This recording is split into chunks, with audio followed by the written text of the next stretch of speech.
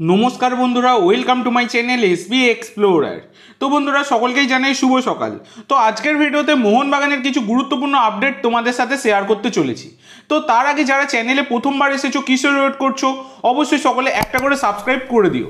তো বন্ধুরা, যারা যারা ভিডিও দেখবে, অবশ্যই সকলে একটা করে কিন্তু সাবস্ক্রাইব করে দিও। তো বন্ধুরা, তোমাদের সাথে মেনলি যেটা শেয়ার করব, সেটা তোমরা অনেকে প্রশ্নও করছিলে যে, দাদা, একটা ক্যালকুলেশন বলো, যার মাধ্যমে মোহনবাগান এফসি কাপের পরের রাউন্ডে যাবে? তো সেইটাই আমি তোমাদেরকে জানাতে চলেছি।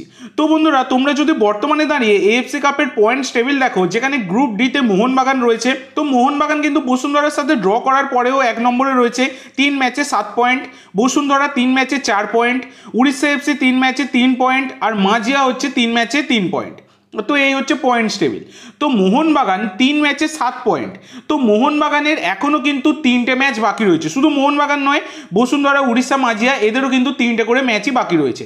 এবং মোহনবাগানের পরের ম্যাচই বসুন্ধরার সাথে সাতই নভেম্বর আবার রয়েছে, যেটা মোহনবাগানের অ্যাওয়ে ম্যাচ তো সব মিলিয়ে মানে আর যে তিনটে ম্যাচ বাকি রয়েছে, সেই তিনটে ম্যাচের মধ্যে মোহনবাগান দুখানাতে জয়, একখানাতে ড্র যদি করতে পারে, তাহলে কিন্তু মোহনবাগানের পয়েন্টস হবে চোদ্দ।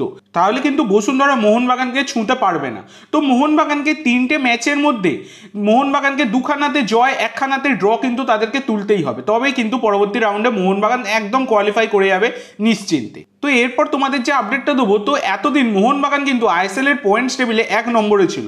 তো গতকাল এফসি গোয়ার সাথে ব্যাঙ্গালোরের ম্যাচ ছিল, যে ম্যাচটা কিন্তু ড্র হয়েছে মানে গোল শূন্য ড্র হয়েছে, শূন্য শূন্য গোলে ড্র হয়েছে। তো এই ম্যাচটার পর কিন্তু এফসি গোয়া তার এক নম্বরে উঠে গেছে, মোহনবাগান দু নম্বরে নেমে এসছে। তো এফসি গোয়া কিন্তু মোহনবাগানের থেকে একটা ম্যাচ বেশি খেলে ফেলল, যেখানে তাদের চার ম্যাচে দশ পয়েন্ট আর মোহনবাগানের কিন্তু তিন ম্যাচে নয় পয়েন্ট সেই কারণে মোহনবাগান কিন্তু দ্বিতীয় স্থানে রয়েছে। তো আগামী এক তারিখে জামশেদপুরের সাথে ম্যাচ রয়েছে মোহনবাগানের। সেই ম্যাচটা যদি মোহনবাগান জিততে পারে, তাহলে কিন্তু মোহনবাগান আবার টেবিল টপে চলে যাবে। তো এই হচ্ছে ব্যাপার। তো এরপর তোমাদের যেটা জানাব, সেটা আপডেট বলব না। এটা কার্যত অনেক জায়গা থেকে এটা জানানো হচ্ছে যে স্লাবকোকে ছেড়ে হেক্টরকে নিয়ে ভুল করেছে মোহনবাগান। তো বন্ধুরা, বর্তমানে তোমরা যদি হেক্টরের পারফরমেন্স দেখো, তাহলে একটা সময় কিন্তু বেশ ভালো লাগছিল, কিন্তু যত দিন যাচ্ছে, হেক্টরের পারফরমেন্সে কিন্তু অনেকটা ঘাটতি নজর পড়ছে। এবং দেখো, তোমরা অনেকেই বলবে যে স্লাবকো বেঙ্গালুরুতে গিয়েই বা কি এমন আহামরি খেলছে। তো তোমরা যদি দেখো, তাহলে কিন্তু স্লাবকো এই টিমে সেট হয়ে গিয়েছিল।